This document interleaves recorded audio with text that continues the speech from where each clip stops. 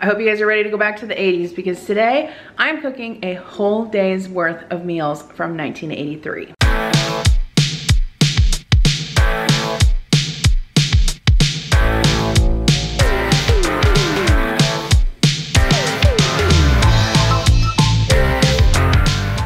Allow me to take you back. The year is 1983. The president is Ronald Reagan. The average cost of building a new house in the United States of America is just $82,000. Average rent is $335 a month. Gas is about 96 cents a gallon, and you can buy a gallon of milk for $1.35, a head of lettuce for 29 cents, and ground beef is only $1.49 a pound. The average income is about $21,000 per year, and you can buy a brand new Dodge Ram 50 truck for just $5,665. April 1983 also brought us the maiden launch of the Space Shuttle Challenger, and in June 1983, Sally Ride became the first American woman in space when she launched with her four crewmates aboard the Space Shuttle Challenger on mission STS 7. In September of 1983, Dr. Guion Bluford became the first black astronaut to fly in space aboard the Challenger's eighth mission. He also became the first to receive the U.S. Air Force Command Pilot Astronaut Wing things. The video game Mario Brothers was also released in July 1983, first as an arcade game in Japan, and was later released in 1985 as Super Mario Brothers for the original Nintendo Entertainment System gaming console. In 1983, Fraggle Rock also premiered in January on HBO and was created and produced by Jim Henson. Many of the episodes featured stories that revolved around conflicts between the Fraggles and the other groups, despite the fact that they all depended on each other to survive. The show's creators had hoped it would promote concepts of world peace, and it was shown around the world in nearly 100 different countries. The final episode of the popular TV show MASH also aired in 1983. This episode actually remained the most watched television program in American history for 27 years. It was finally surpassed by the Super Bowl in February 2010, and its finale is still the most watched scripted TV show in American history 40 years later. A ton of top films were released in 1983, including E.T., The Extraterrestrial, Star Wars, Return of the Jedi, Tootsie, Flashdance, and Trading Places. The most popular music artists in 1983 were The Police, Michael Jackson, Men at Work, Hall and Oates, Phil Collins, and David Bowie. Also, another fun fact is that the first mobile phones were introduced to the public by the Motorola Company in 1983. A full charge for one of these phones took about 10 hours and offered only 30 minutes of talk time. It was priced at about $4,000 in 1983, which would be about $12,000 today. In March 1983, IBM also released the Personal Computer XT, which had a built in hard drive. At release, the cost of this PC was $7,500, which would be about $23,000 today. Another fun fact is that Microsoft Word was also released in 1983, which is a common software that most of us use today on a daily basis. January 1st, 1983 is also considered the official birthday of the internet. Prior to this, the various computer networks did not have a standard way to communicate with each other. ARPANET and the Defense Data Network officially changed to this new protocol in 1983, hence the the birth of the internet. In November 1983, America went bonkers for Cabbage Patch Kids. The dolls were so scarce and demand was so high that riots broke out in stores, and parents were ready to drive hundreds of miles to buy them. 1983 was also the year that I was born, which brings me to the point of this video. I thought it would be so fun to cook a day of meals from 1983. I do collect a lot of cookbooks, but didn't own any from that year, so I took to the internet and ordered a few, including the annual 1983 Southern Living Cookbook, Betty Crocker's Step by Step Picture Cookbook, Oscar Mayer's 100 Year Celebration Cookbook, and a few paperback style cookbooks. Today for breakfast, I am making a really delicious quiche with some fruit cocktail. For lunch, a BLT salad with some cauliflower cheese soup. Dinner is going to be Swedish style meatballs with noodles and green beans with a delicious lemon cake for dessert. So let's get started. Okay, so you wanna know what they did not have in the 1980s? Factor, which is really sad because I feel like it would have made a lot of our parents' days a lot easier. Thank you to Factor for sponsoring today's video. I've been working with them for a while now here on my channel and I love working with them because their meals are so delicious and they're gonna give you guys a huge discount. So let me tell you about that. If you're not familiar with Factor, they make meeting your nutrition goals easier than ever by delivering fresh, never frozen, dietitian approved meals right to your doorstep. Their team of gourmet chefs create each meal using only ingredients with integrity to help you feel your best all day long. Take this night, for example. I made my kids chicken noodle soup and sandwiches for dinner, but I just wasn't feeling that.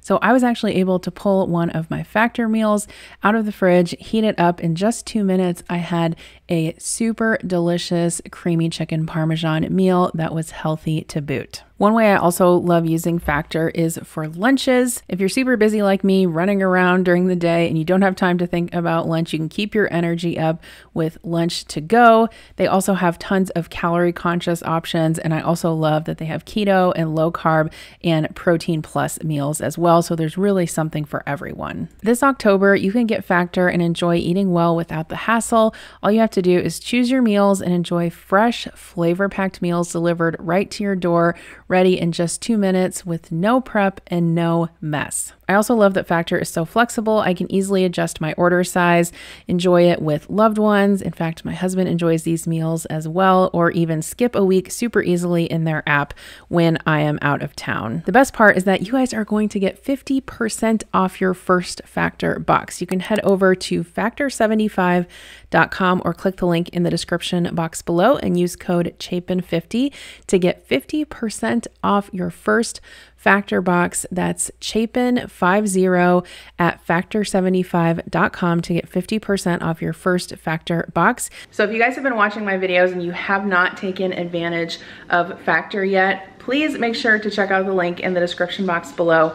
I highly, highly recommend them. They're super delicious. In fact, my sister just tried them and she's like, oh my God, you're right. They're so good. You can use the link in the description box or tap the screen right here. And thank you again to Factor for sponsoring today's video. So for breakfast to commemorate 1983, we are making a quiche. And quiche was actually kind of special in the 1980s. So, if you research some of the most popular foods of the 1980s, quiche is actually one food that was introduced in the 1970s in America, but then kind of peaked in popularity in the early 80s. So, from the Southern Living 1983 Annual Recipes book, we are making a recipe from March from Breakfast and Brunches. This is the crustless crustless potato quiche. So for this, we'll need some bacon, eggs. I've got half a bag of hash browns here that I've just thawed out, some cottage cheese, about a cup of shredded Swiss cheese, green onion, um, I've got salt and pepper, some hot sauce, and some paprika. Hello. I've just got a nonstick skillet over medium heat and I'm just crisping up this bacon. Once it's done cooking, I'll drain it and we'll crumble it up for the quiche. I'm gonna add five eggs to my bowl here. And if I actually would have read the recipe through before I started cooking, I would have realized that I could have waited to cook the bacon because I don't need the bacon until the end, but there you go. I'm gonna add some pepper, about a quarter teaspoon of salt, this up. Gonna add half a cup of cottage cheese and then a cup of shredded Swiss cheese, which is four ounces. So I just kind of took that off the block. Stir this up. I'm gonna add my potatoes. About a teaspoon of hot sauce, not too much. And then we've got some green onions, so I'm just gonna go ahead and use my kitchen shears and snip that right in there so it's a little bit easier. We're gonna put this in uh, a round pie plate. I've got one over here, I just need to grease it. And this recipe actually calls for putting, crumbling and putting the bacon on top during the last five minutes of baking, which I thought was kind of interesting. This is my favorite pie plate. I think it's actually a deep dish pie plate, but I find it works really well for both pies and quiches. So I just have some avocado oil spray, or you can use Pam or whatever you have. I'm gonna grease that pretty well. Since there's potatoes in here, it might have you know, a tendency to stick a little bit. Just gonna pour that in there as evenly as I can. And then I've got the oven preheated to 350 degrees. So we'll go ahead and bake this for about 25 minutes or until it's set. So when there was about 10 minutes left of cooking time on the quiche, I removed it from the oven and added the cooked crumbled bacon to the top and returned it to the oven to finish cooking. Okay, so here is our delightful looking bacon crustless quiche or whatever it was called. I did have to bake it for longer than the recipe said. I feel like I have to do that a lot with egg recipes, so I'm not sure if it's just my oven. But I did let it set up for about 15 minutes so it wouldn't be super hot. See, even though I greased my pan, it still did stick a little bit. Yum. All right, so what else would go better with quiche than fruit cocktail? Does fruit cocktail remind you of the 80s? I don't know if they had the very cherry kind back then, but that's what I got. So we've got our quiche here. I just garnished it with a little bit of green onion. Yeah, that's definitely good. I like I like that. Highly recommend that. It's got really good flavor. So if you want to make this, I definitely recommend it. I'll have all of the recipe information in the description box below. Yum. I'm very excited about today's dessert. It is from the Pillsbury Bake Off Classics 3 cookbook from 1983. $1.98. Do you guys remember when these were like available at like the checkout in the grocery store? I used to love getting these cookbooks in college too. Uh, we are making a lemon cream dessert cake. So I've got two round cake pans here. I like to line the bottom of mine with parchment paper. So all I do is I take a piece of parchment paper, I fold it into quarters, and then I fold it into kind of like a wedge, sort of like you're gonna make a paper snowflake. And then I kind of put the point in the center and just cut around like this.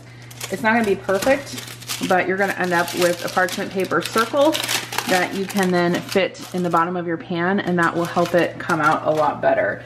So this is Baker's Joy. It's actually a cooking spray, but it's got some flour in it. And so it really helps with baked goods. I just spray the bottom and don't forget the sides, obviously. And then I put the parchment in there so it'll stick. And then I spray the parchment a little bit just because we want to make sure nothing sticks. Don't forget to make a mess out of your stove in the process. Honestly, the reason I chose this recipe is because it used a cake mix because I know that making a cake with cake mix is gonna be delicious. Uh, I've got a cup of water in here. I'm going to add one third cup of vegetable oil. And then I need three egg whites. So I'm just gonna separate those over the bowl. Okay, I'm gonna add the cake mix. We're actually gonna use the yolks. So I need to take the shells out of that. I'm gonna combine this until it's well combined and then beat it for two minutes. So this is where the recipe says to fold in two tablespoons of lemon zest, which is what I have here. And then it also says to fold in uh, some shredded coconut, which I, I mean, I, it's not that I don't like coconut, I just don't prefer it in my desserts. So I'm not gonna put it in, but the original recipe did call for that. Okay, so I'm gonna remove this bowl and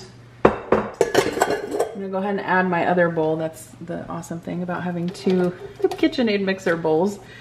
And we're gonna go ahead and put the egg yolks in here and I'm gonna beat those on high speed for two minutes. All right, egg yolks are beaten. And then I'm supposed to add two cups of the white cake batter to here. I think this is gonna make like a marble cake. I'm totally just going to estimate. And I'm also adding three tablespoons of freshly squeezed lemon juice. So I'll mix this up. So I think this is supposed to be like a yellow and white swirled situation. It's not looking very yellow. The recipe doesn't call for this, but I think I'm gonna add just like a few drops of yellow food coloring. All right, I've got this gel food coloring, so we'll see. It's kind of, I've used it before and it's kind of weak. That's better. Okay, so what I'm going to do is, we're gonna see how even I can make this. I'm gonna put half of the white batter into each pan. Definitely need a spatula to make sure you get it all out. You know how long it's been since I've baked a cake? I don't know why, but baking stuff like this just brings me immense joy. I need to do it more often. Okay, and then we've got our yellow. This, this turned quite yellow. So what I'm gonna do is I'm just gonna kind of swirl some over the top of each and then we're gonna kind of like try to marble them together. There's no picture of this in the cookbook, so your guess is as good as mine about what it's supposed to look like. That's one thing I, you know, notice about collecting different eras of, of cookbooks is that obviously pictures for every recipe is, you know, a fairly newer uh, advent in cookbooking, cookbook making, whatever. And I assume it'll look better once we, you know, cut cut the cake. You can see the marbling on the inside. I've got the oven set to 350. One thing I would say is that if you have a convection oven and you're baking like cookies or cakes, just make sure that you turn the convection, convection function off because it can make your cakes and your cookies brown too quickly. So we're gonna bake these for about 20 to 25 minutes. Okay, so here are the cakes. I have let these cool completely in the pans, uh, basically sitting on a wire rack. So I think they should probably come out pretty easily. Just, yeah. So that's how easily they come out. And then you can just peel the parchment off the top and then this will become the middle of the cake. You can flip that one out too. Just like that. All right, so for the frosting in the mixer bowl here, I've got eight ounces of cream cheese that I have softened, along with one cup of powdered sugar. I'm just gonna whip this together. Okay, so I've got a box of this lemon pudding. It's the instant kind. I'm gonna whisk that together with a cup of milk. And then I'm also going to fold into the mixer bowl uh, one package of Cool Whip or four cups.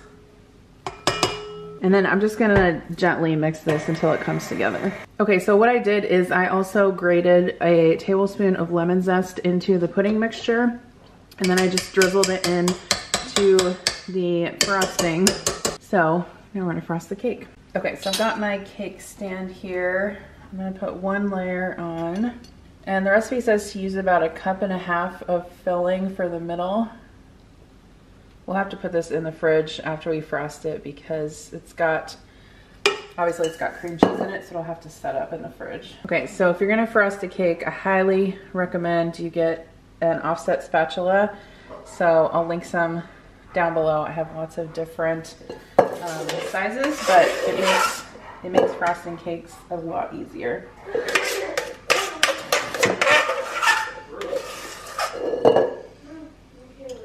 So I'm definitely not a professional cake decorator, but I'd say that's not too bad.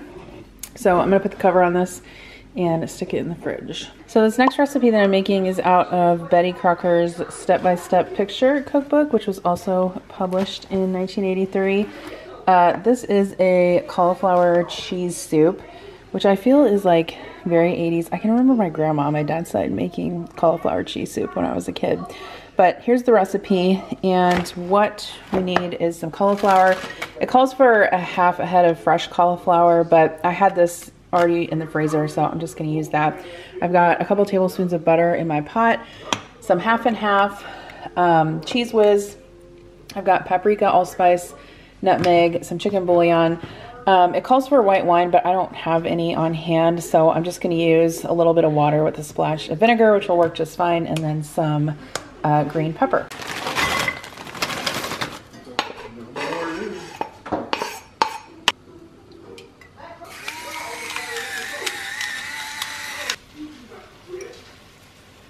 So the cauliflower is mostly tender now and I've kind of chopped it up into small pieces. I'm gonna add two cups of water, like a little splash of vinegar to kind of replicate the wine. I'm gonna add one teaspoon of chicken bouillon and then just like a tiny little dash of nutmeg and allspice. All right, I'm gonna add two thirds of a cup of Cheez Whiz, half cup of half and half. All right, I'm gonna add just a little bit of paprika.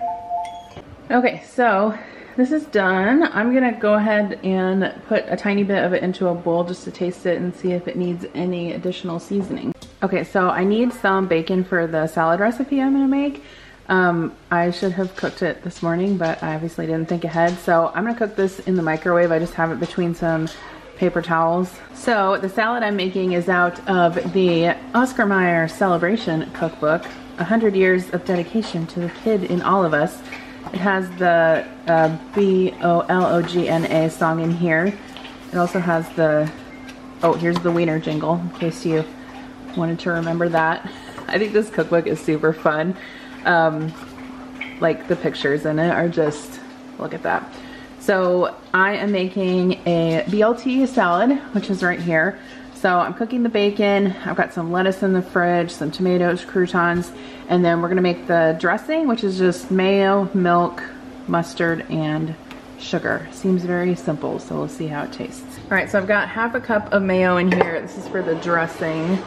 We're gonna do half a teaspoon of sugar, a teaspoon of mustard, and then two tablespoons of mayo. So I thought iceberg lettuce would be appropriate for the salad. I've got some tomatoes in there, salt and pepper, bacon. I'm just gonna kind of tear this up. I can remember my mom cooking bacon in the microwave when I was a kid. Do you guys remember that? I don't ever think I even remember her cooking it on the stove.